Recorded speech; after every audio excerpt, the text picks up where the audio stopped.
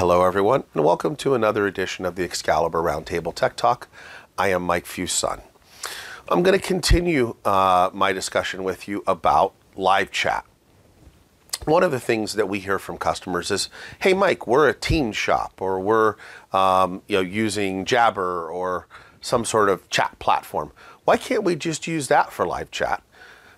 well, it's not that you can't. There are technologies out there that allow you to use those chat platforms with your IT service management tools. However, they're not really designed for a live chat type scenario. Um, if somebody goes in and, and it clicks on the bot that gets set up and it creates a live chat, it you know, creates a channel then, um, and somebody's got to be monitoring all of these channels to be able to do the chat back and forth. Is it a bad thing? No, uh, it's better than nothing.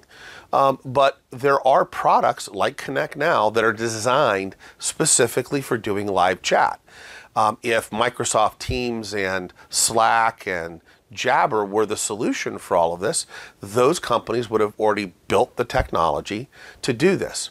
And what are some of the gaps that I that I frequently see? Well, one of the things that we like about ConnectNow is the ability to set up um, different groups within the organization that are within the the ConnectNow tool, that is, um, that are really skill sets. So when a person starts a live chat, it's not whoever randomly is monitoring your Teams channels that sees where that chat comes in it can actually be routed to individuals that have the knowledge. So if somebody's coming in with a question about something with the accounting system, you're not giving them to a technician who really can't help them. Um, you're giving them to tech, a technician with the proper number of skills, uh, with the proper knowledge, um, and the ability to know what needs to happen. That's just one small part of why a more purpose built chat system uh, would be beneficial.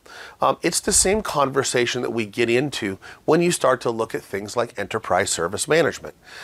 enterprise service management in most of the core large platforms out there, the Cherwells and the ServiceNows, etc., they have a project and portfolio management platform that's in there.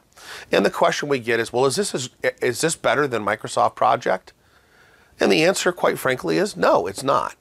Uh, Microsoft Project was specifically built and purpose built to manage projects. If you're looking at like Microsoft Project Server as an example, um, the PPM solutions do a lot of the things that Microsoft Project can do, but it certainly can't do them in the same way to the same degree that Microsoft Project can.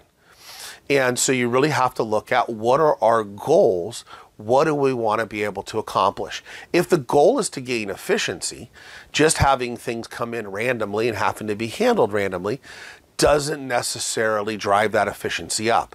A purpose built system that has things like skills based routing um, has the ability to do that call deflection in the early stages of giving them knowledge articles um, and by asking those questions, also then being able to skills based route you're going to have that better user experience because that really should be our focus. How do we provide an exceptional user experience?